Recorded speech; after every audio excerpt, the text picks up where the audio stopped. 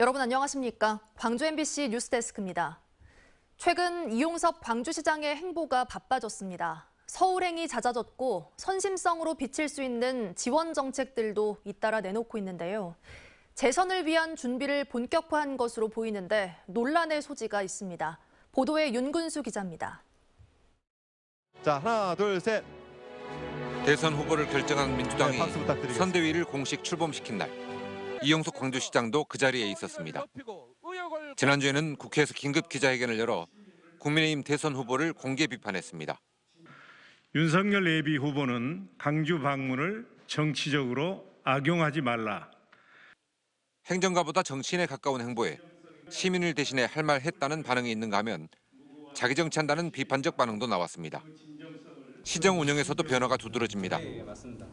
최근 확대 간부 회의에서는 특혜 시비가 끊이지 않았던 민간공원 사업을 흔들림 없이 추진하라고 당부했는데 광주시청이 아니라 현장에서 간부 회의를 연 건 임기 중 처음 있는 일이었습니다. 캐스퍼 취득세 감면에 이어서 모든 시민들에게 10만 원씩 일상 회복 지원금을 주겠다는 정책도 꺼냈습니다. 1,480억 원이 소상공인과 자영사업자에게 돌아가게 되면 지역 경제 활성화에 크게 기여할 것입니다. 하지만 이런 취지에도 불구하고 선거를 앞둔 시기 때문에 선심성 정책이란 오해를 사기에 충분합니다. 실제로 광주시 의회에서는 찬반 의견이 갈렸습니다. 우리 강주시의 재정이 매우 불건전하고 어렵다. 그럼에도 불구하고 지방채를 발행해서 어, 시민 1인당 10만 원씩 재난지원금을 지급해야 되는가? 반대 의원들은 재정 건전성을 이유로 들었지만 이면에는 내년 시장 선거 후보로 강기정 전 수석을 지지하는 이들이 이 시장 대리 견제에 나섰다는 해석이 나왔습니다. 광주시 의회가 이 시장 지지파와 강수석 지지파로 나뉘어 있다 보니 예산 심의 과정에서 논란과 진통을 피할 수 없게 됐습니다. MBC 뉴스 윤문수입니다. 국민의힘 원희룡 후보가 광주를 찾은 자리에서 호남을 비하하는 표현에 대해 있을 수 없는 일이라고 비판했습니다. 원 후보는 서민 교수의 홍어준표라는 표현과 관련해 남 탓할 게 아니고 스스로 돌아봐야 하고 후보와 진영 내에서 맹렬한 반성이 필요하다며 윤석열 후보를 겨냥했습니다. 그러면서 자신은 호남을 국정 운영의 중심에 두겠다고 밝혔습니다.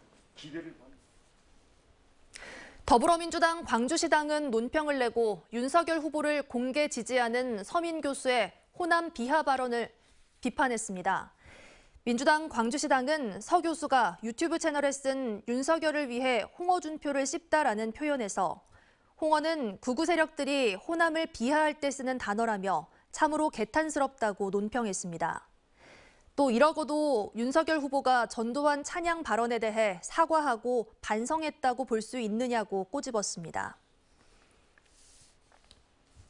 전국에서 요소수 대란이 벌어졌습니다. 요소수는 화물차와 농기계 등 경유 차량이 배출하는 오염물질을 제거하는 역할을 하는데요. 중고 사이트에선 평소보다 10배 비싸게 거래되고 있습니다. 화물차와 소방차가 멈추게 생겼고 특히 수확철 농가도 비상이 걸렸습니다. 김한수 기자가 취재했습니다. 농촌마을 인근의 한 주유소. 요소수 주입기에 잔량 표시기가 바닥을 보입니다. 2주 전 600리터를 남기고 요소수를 주문했지만 생산업체는 언제 주겠다는 계약도 없습니다. 여러 군데에서 지금 주문이 들어오는데도 불구하고 아예 에, 물건을 내주지 못하고 있다고 합니다. 어, 전화로도 계속 업무를 못할 정도로 계속 예, 요소수를 찾고 계십니다. 우리나라에서 쓰는 요소수의 97%가 중국에서 들어오는데 중국 당국이 지난달부터 요소수의 원료인 요소의 수출을 제한했기 때문 요소수 구하기가 어려워지자 절임 배추 등 농축산물 화물 유통은 물론 대중교통 업계가 직격탄을 맞았습니다. 근데 이거 큰일입니다. 지금 10리터 남았는데 이제 한 많이 때만 한 5일 가야 되는데 5일이면 차가 서계성했습니다. 10리터에 1만 원 선이던 요소수는 중고거래 사이트에서 10배 웃돈으로 판매되는 상황입니다. 농촌도 비상입니다. 디젤 엔진을 쓰는 신형 트랙터마다 요소수가 필요하기 때문입니다. 사료용 볏짚 수확, 보리 가리 등 가을 농번기를 맞은 농민들은 요소수를 구하려 전국 곳곳에 손을 내밀고 있고 그러니까 인천 주유소에서도 구입을 할 수 없고 그래서 예, 경상북도의 김천에 살고 있는 예, 매대한테 전화해 가지고 예, 거기서 두 통을 구입을 했습니다. 대부분 디젤 엔진 차량을 운용하는 소방 당국도 요소수 확보에 총력전을 펼치고 있습니다. 요소수 대란이 벌어지면서 산업계와 농가 등 사회 곳곳에 비상이 걸렸습니다. MBC 뉴스 김한수입니다. 코로나19 상황으로 어려움을 겪는 사업장들도 많지만 반대로 전례 없는 호황을 누리는 곳들도 있습니다. 바로 골프장인데요. 이용객들이 많아지자 기회를 놓치지 않고 더 많은 영업이익을 얻으려는 꼼수도 성행하고 있습니다. 조희원 기자가 집중 취재했습니다. 코로나19로 해외 원정 골프가 불가능해지자 국내 골프장이 특수를 누리고 있습니다. 한 달 전부터 예약을 해야 하는데 이마저도 쉽지 않다는 목소리가 나올 정도입니다. 실제로 그런지 직접 사이트에 들어가 예약해봤습니다. 여수의 한 유명 골프장의 공식 예약 페이지. 골프만 이용하는 상품은 이번 달은 단 하루 빼고는 모두 마감입니다. 하지만 여행사 사이트를 들어가 보니 숙박까지 하는 패키지 상품은 여전히 예약 가능합니다. 패키지 상품으로 팔기 위해 개인 골프 상품을 줄인 겁니다. 골프만 이용하는 상품의 경우 1인당 주중 22만 원에서 주말 28만 원이 최대지만 숙박 패키지 상품은 주중 51만 원부터 판매되고 있습니다. 순천의 한 골프장은 공식 홈페이지에서는 다음 달 예약이 아직 시작도 안 된 상태입니다. 하지만 여행사 사이트에서는 다음 달 숙박 패키지 상품을 구매할 수 있습니다. 골프 상품을 팔기 전에 숙박 패키지 상품으로 먼저 내놓는 꼼수를 부리고 있는 겁니다. 지난 1년 동안 도내 골프장 입장료는 평균적으로 주중 18.7%, 주말은 14.7% 올랐습니다. 골프장 내 간이 휴게소인 그늘집에서 판매하는 음식값은 막걸리 한 병에 12,000원, 떡볶이는 35,000원 하는 곳도 있습니다. 골프 장비를 싣는 카트 대여 비용은 소모품이 아닌데도 1.5배에서 2배씩 올랐습니다. 전에 카트비가 8만 원이었는데 지금 12만 원까지 오르고 왜냐면 그린피를 안 올리니까 대신 카트비를 올려버린 것 같아 왜냐면 다른 건 모르, 못 오르니까 그러나 코로나 감염 우려 때문에 폐쇄됐던 목욕장 시설 이용료에 대한 할인을 해주는 곳은 없는 실정입니다. MBC 뉴스 조희원입니다.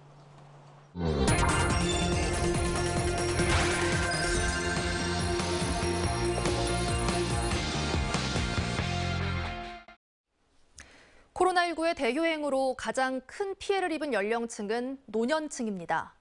경제 활동이 줄고 누군가와 함께하지 못하면서 사회적 고립감까지 겪어야 했는데요. 코로나19 전후의 변화를 빅데이터 속에서 찾아보는 기획보도 빅데이터는 알고 있다. 오늘 주제는 노인 소외입니다. 조현성 기자가 보도합니다. 노인 복지관 한켠에 마련된 체육시설입니다. 최근 단계적 일상 회복이 시작되면서 1년 8개월여 만에 다시 문을 열었습니다. 재개장을 손꼽아 기다렸던 어르신들은 기쁜 마음에 만세를 부를 정도였습니다. 집에서만 있다가 그 당구장에 나오니까 이보다 더 좋을 수가 없어요. 아주 그냥 세, 그 삶의 활력이 느껴지는 것 같습니다. 코로나19는 경제력과 면역력이 취약한 노인들에게 더욱 가혹했습니다. 외출 자제 분위기 속에 이동이 최소화됐고 동년배들을 만나 일상을 함께하는 즐거움도 사라져 사회적 고립감과 우울감이 높아져 갔습니다. 코로나19 전후의 노인 소외 문제를 살펴보기 위해 뉴스 기사 11만여 건과 SNS 데이터 130여 건을 단어 출력 빈도와 의미 연결망 등으로 나누어 분석해 보았습니다. 코로나 이전 뉴스 기사에서 단어 출연 빈도 상위권이었던 일자리와 참여, 창출과 같은 키워드가 코로나 이후 순위에서는 뒤로 밀리거나 사라졌습니다. 반면에 지역사회, 지급, 물품과 같은 키워드의 출연 빈도는 코로나 이후 크게 높아져 노인 문제와 관련한 사회적 관심의 무게 중심이 고령화 시대 노인 일자리와 소득 증대에서 팬데믹 시대 취약계층의 건강과 긴급 복지로 옮겨간 것을 알 수 있었습니다.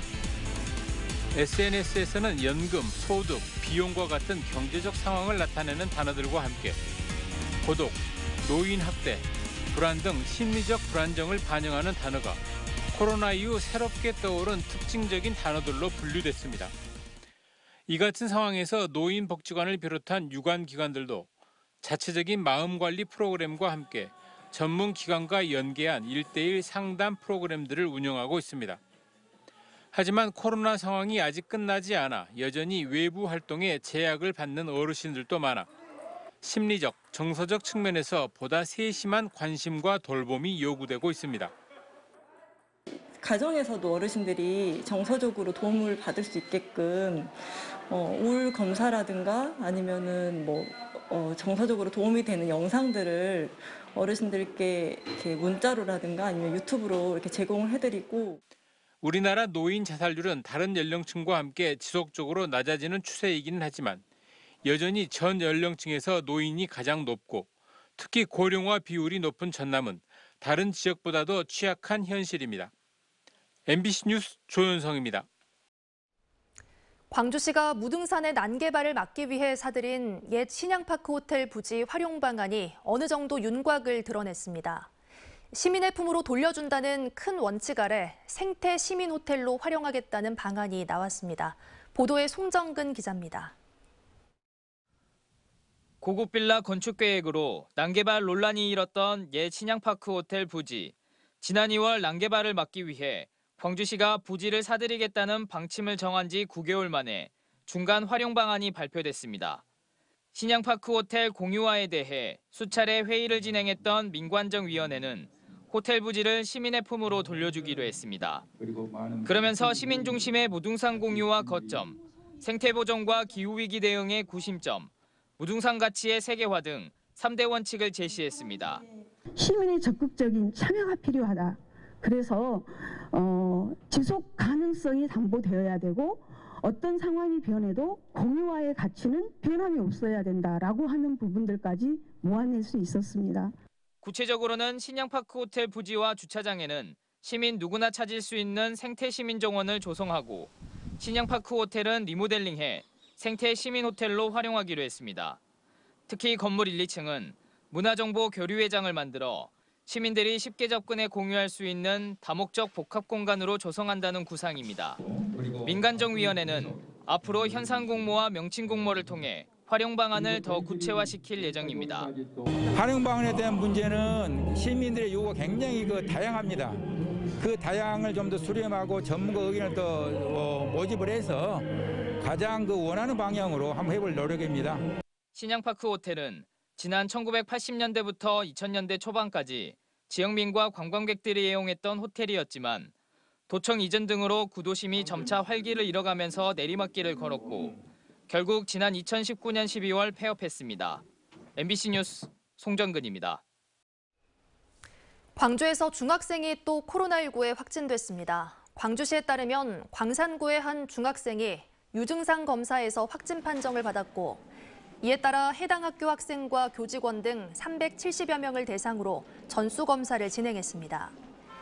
광주에서는 지난 1일부터 사흘 동안 중학교 3곳과 고등학교 2곳, 초등학교 1곳에서 확진자가 발생해 전수 검사가 진행됐고 밀접 접촉자로 분류된 학생과 교직원들이 자가격리됐습니다. 11월 3일 학생 독립운동 기념일을 맞아 광주에서 제92주년 기념식이 열렸습니다. 국가보훈처는 광주 학생 독립운동 기념탑에서 유은혜 부총리와 독립유공자, 유족과 학생 등이 참석한 가운데 일제강점기 독립운동을 전개한 학생들의 용기와 희생정신을 기리는 기념식을 진행했습니다. 1929년 11월 3일 광주에서 시작해 이듬해 3월까지 이어진 학생 독립운동은 전국 320여 개 학교 학생들이 일제 식민 통치에 맞서 시위를 펼친 항일운동으로 우리나라 3대 항일투쟁 가운데 하나로 꼽힙니다. 학생들이 참여해 교내에 방치된 공간을 학습 공간으로 조성한 공간혁신 공개의 날 행사가 열렸습니다. 영광군 대마초등학교에서는 유은혜 교육부 장관 등이 참석한 가운데 학생과 교사의 의견을 바탕으로 기존에 방치된 공간을 짚라인이나 스케이트장 등 야외 학습 공간으로 조성한 학교 공개 행사가 진행됐습니다. 단순한 시설 개선을 넘어 다양한 학습 형태 변화를 지원하기 위한 학교 공간 혁신 사업에는 지난 2019년부터 1,200여 개 학교가 참여했습니다. 사건 관계인과 부정한 금전 거래를 하고 도박 운영 자금을 지원한 혐의로 재판에 넘겨진 전직 경찰관이 실형을 선고받았습니다. 광주지법 형사 10단독은 오늘 뇌물수수와 도박공간 개설 방조 혐의로 구속 기소된 전 광산경찰서 소속 경위 A씨에 대해 징역 1년 4개월, 벌금 5천만 원, 추징금 6,300만 원을 선고했습니다. A씨는 지난 2015년부터 2017년 사이 전남의 모 경찰서에서 근무하며 사건 관계인에게 무이자로 2억 원을 빌려 금융이익을 얻은 혐의 등으로 기소됐습니다.